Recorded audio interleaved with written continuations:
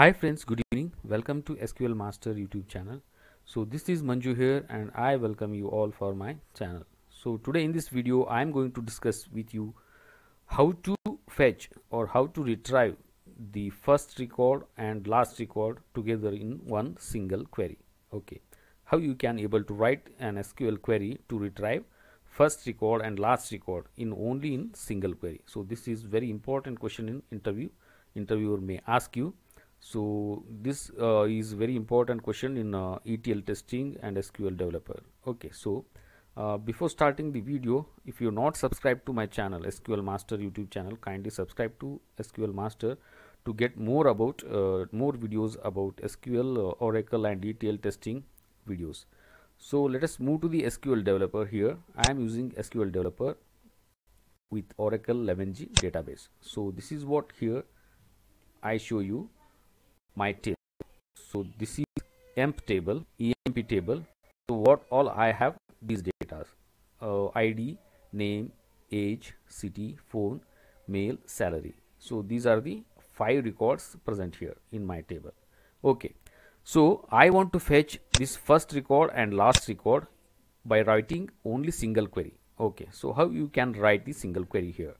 So let us see this video uh, be with me. I will write the query here and later I explain the things. So write the query as follows. Select start from table name that is emp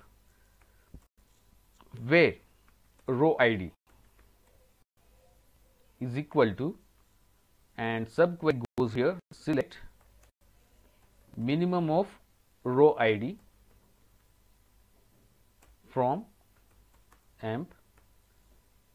Below you can union here right? Union because we are union here two SQL queries. Okay. So select star from emp table name that is where row id is equal to subquery goes here select max of row id from emp. So this is what the query here and put semicolon here and execute the things. And then here you can execute this by pressing control enter. So you will get the first record Sonu and last record Raj details. Okay so this is how you can execute in single SQL query. Uh, you will able to retrieve the first record and last record together in one single result. So you are union here. Okay so see here we are displaying uh, first uh, select query result and below that second select query result. So we use data set operator here union. Okay.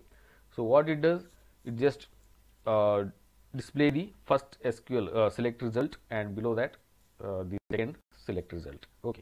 So if any duplicate uh, it will eliminates and it will get display the result in ascending pattern. So this is what the thing here uh, just I want to show you this query. This is very important query. You can just uh, go through the logic here.